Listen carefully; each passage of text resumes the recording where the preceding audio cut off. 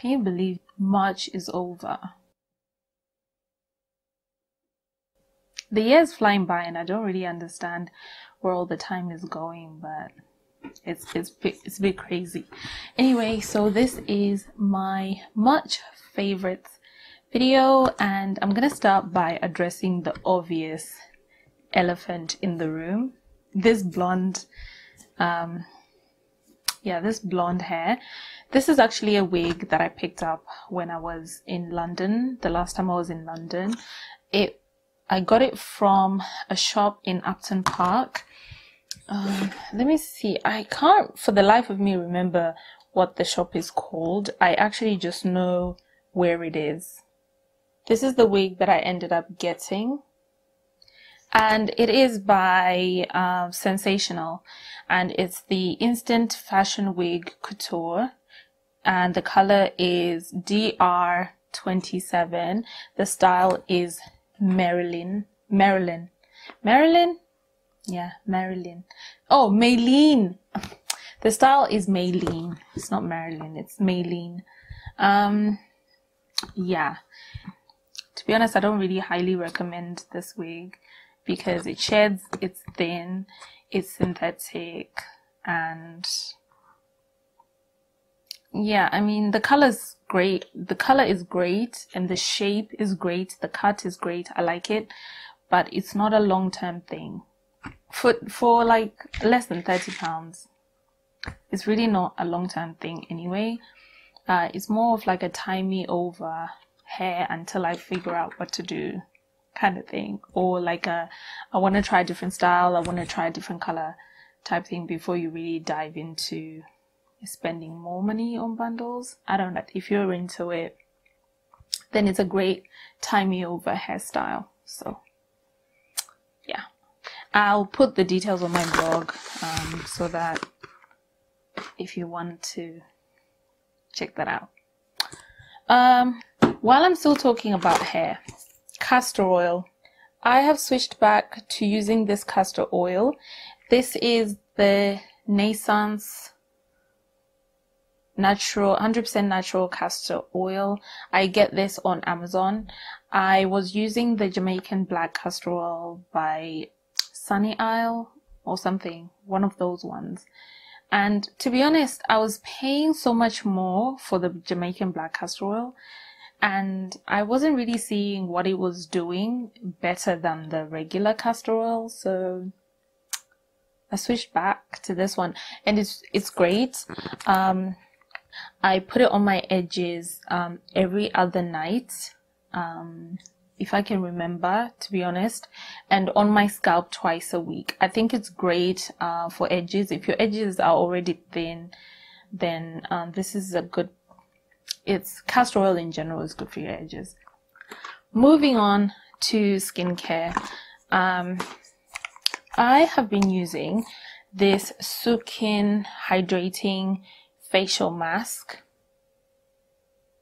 Uh, there are times when my skin feels quite dry and this usually kind of this usually fixes it pretty pretty quickly. I also use this when I do skin peels overnight or uh, overnight treatments with glycolic acid. I use this in the morning and it just adds all that goodness back into my skin and has me feeling great again. So this stuff smells amazing. It smells like, um, mm, smells like mango.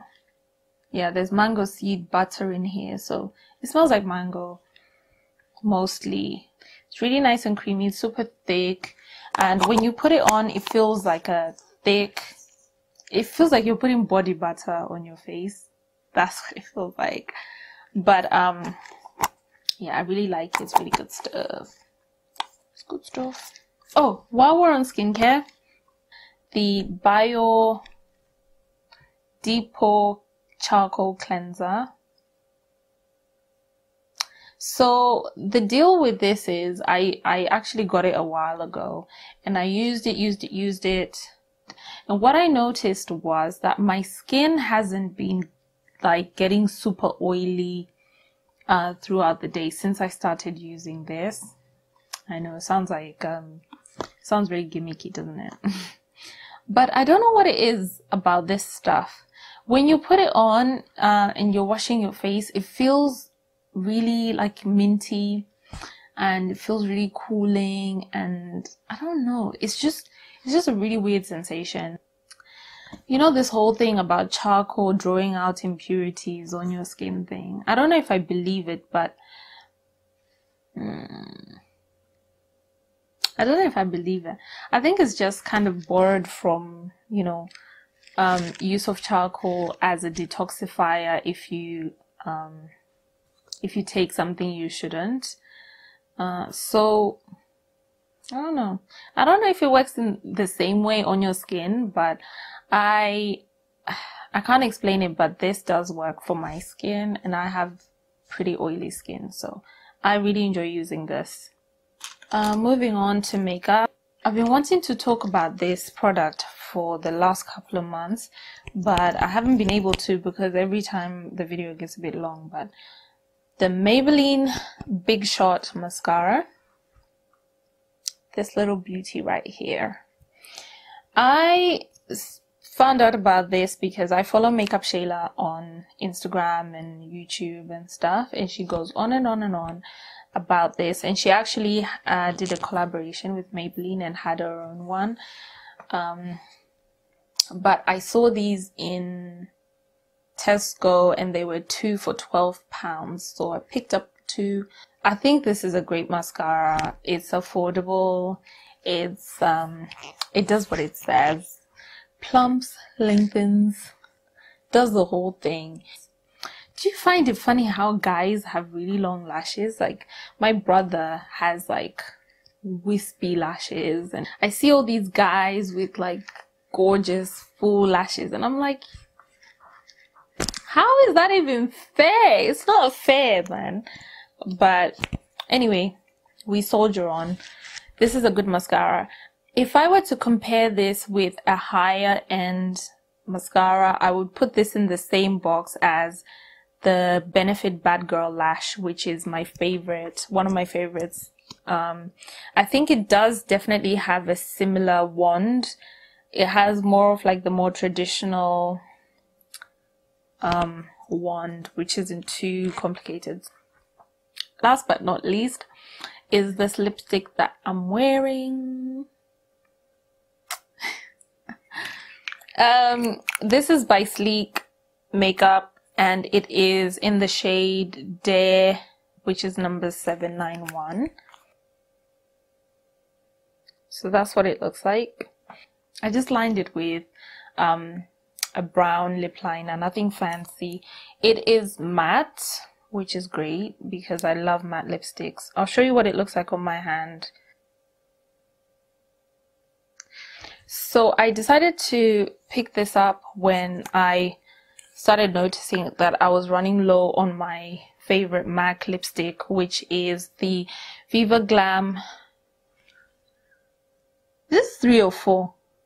Yeah, the Viva Glam 3 uh, which is also a matte lipstick and the color is really similar. Okay, so this is the sleek and I'm gonna just swatch to to the left, to the left. I'm going to swatch this MAC one and I think I think personally I think they're quite similar. The only difference is the MAC one is more on the mauve purpley side and this uh, sleek one is a little bit more red. Um, I think that's the best way to to describe them. Um, what else do I do, you, do I need to say about this lipstick? The color is great the pigment is great it applies really smooth it's not patchy it's not drying uh, but I always base my lipsticks with a lip oil or a lip balm so I don't really um, have too many issues. It doesn't crack. It reapplies really well if you need to.